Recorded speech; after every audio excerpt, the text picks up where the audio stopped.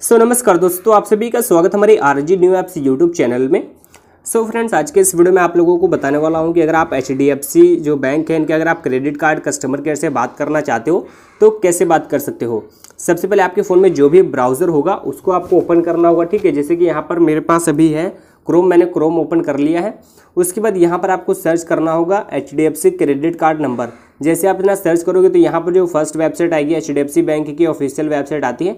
Simple से आपको इसके ऊपर क्लिक करना है। जैसे आप इसके ऊपर क्लिक करते हो तो ये कुछ इस तरीके से ओपन हो जाती है वेबसाइट अब आपको स्क्रॉल करके नीचे की तरफ़ आना है। नीचे की तरफ़ आओगे तो यहाँ पर जो है कि अब आपको नंबर देखने के लिए मिल जाएगा। आप यहाँ पर देख सकते हो, पूरी की पूरी यहाँ पर आप देख सकते हो लिस्ट पड़ी हुई यहाँ पर आप देख सकते हो, जो फ़ोन बैंकिंग के लिए ये वाला नंबर आपको देखने के लिए मिल जाता है।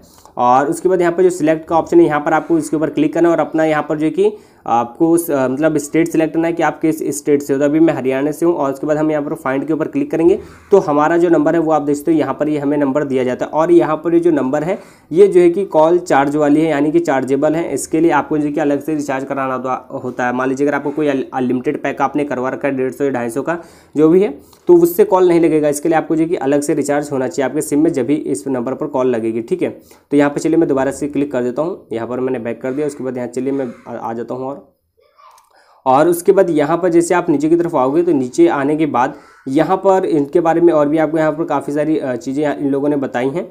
और उसके बाद यहाँ पर अगर आपको कंप्लेन वाला अगर आपको नंबर चाहिए तो कॉन्टैक्ट नंबर के ऊपर क्लिक करना होगा। यहाँ पर आपको उसका भी नंबर देखने के लिए मिल जाएगा। और यहाँ पर अब आप देख सकते हो लिखा हुआ है for credit card related queries तो अब आपको यहाँ पर कॉन्टैक्ट नंबर के ऊपर क्लिक करना है और यहाँ पर ये जो नंबर आपको देखने के लिए मिल जाता है, इस नंबर पर आप कॉल कर सकते हो। और अब आप जैसे यहाँ पर ये नंबर देख रहे हो, इसके ऊपर आप जैसे लॉन्ग प्रेस करोगे तो यहाँ पर ये जो है कि इमेज में तो हम इसको अभी कॉपी नहीं कर सकते, इसको जो है कि आपको लिखना पड़ेगा, ठीक है? या तो फिर आप डायलर में जा करके सीधा लिख सकते हो, ठीक है? यहाँ पर अभी आप देख सकते हो कुछ इस तरीके से आपको ये नंबर दिख रहा होगा।